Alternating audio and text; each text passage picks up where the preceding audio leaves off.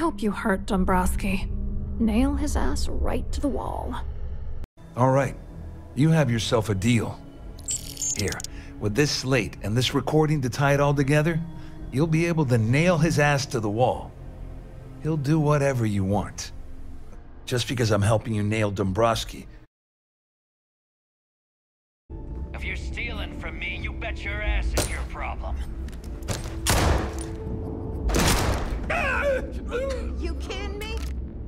You kidding me? Way to make a mess in front of my new rook. Hey, steal from me and get caught. Better off dead. Sounds like you did the fleet a favor.